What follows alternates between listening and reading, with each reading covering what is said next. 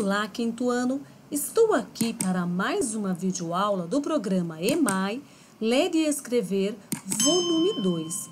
Se você não é inscrito ou inscrita no canal, se inscreva para receber todas as aulas.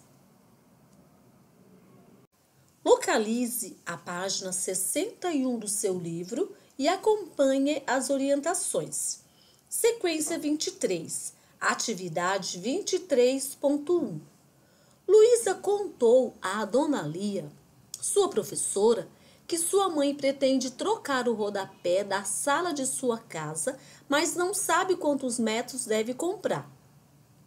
A professora disse que ela precisa medir o contorno da sala toda, ou seja, o perímetro da sala.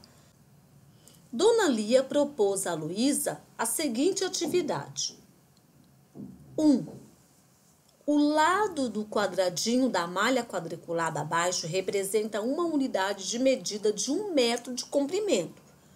Qual a medida do perímetro de cada figura poligonal que está desenhada nessa malha?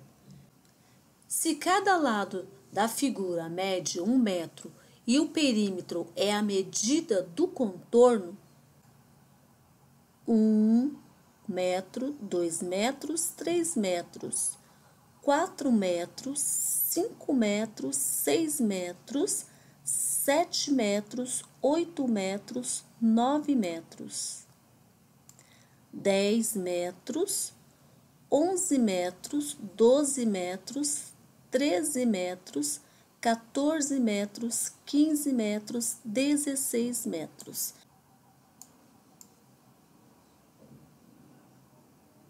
Perímetro da figura B um metro, dois metros, três metros, quatro metros, cinco metros, seis metros, sete metros, oito metros, nove metros, dez metros, onze metros, doze metros.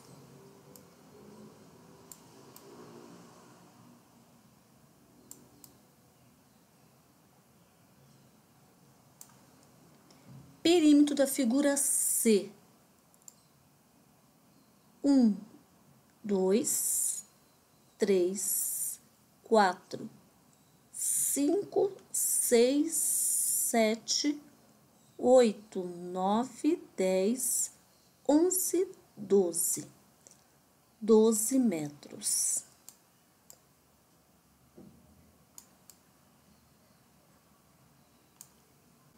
Perímetro é a soma das medidas de todos os lados de uma figura. Depois dessa definição, é possível você é, fazer as letras D, E e F e responder as perguntas A, B e C. A. Qual das figuras tem o maior perímetro? B. Quais dessas figuras têm perímetros iguais? C. Quantas vezes o perímetro da figura A é maior do que o da figura E? Duas vezes?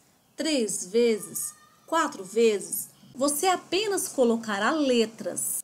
Garotada, fico por aqui. Um beijo no coração e até a próxima videoaula.